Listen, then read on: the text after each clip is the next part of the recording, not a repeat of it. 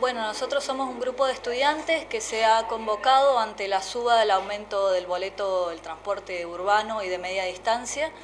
Este movimiento empieza en Montecomán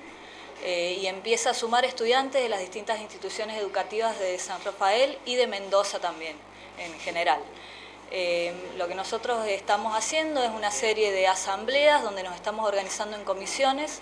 para poder elaborar un proyecto propio de los estudiantes en pos de conseguir el boleto educativo gratuito. Vamos por la totalidad del boleto, por la cobertura total del pasaje de todos los estudiantes de todos los niveles eh, y lo estamos haciendo con un proyecto propio elaborado por los propios estudiantes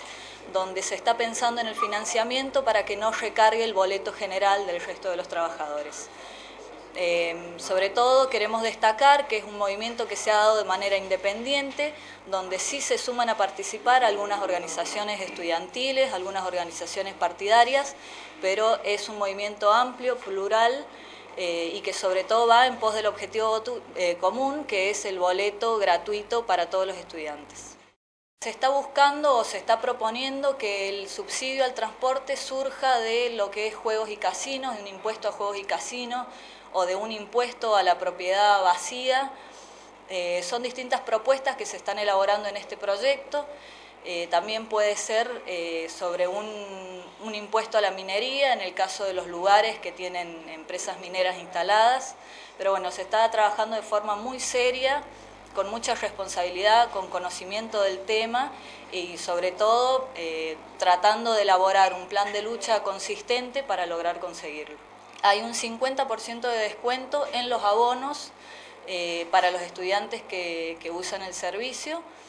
eh, pero la verdad que está cada vez más complicado sacarlo, los abonos hay que comprarlos con anterioridad al mes de uso, por ende hay que tener el dinero para, comprar cierta cantidad de, viajes de antemano,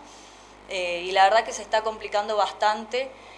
poder conseguirlo. Hay estudiantes que están dudando en continuar sus estudios de nivel superior eh, porque el transporte ha pasado a ser un impedimento al momento de estudiar. Creemos que el transporte es un derecho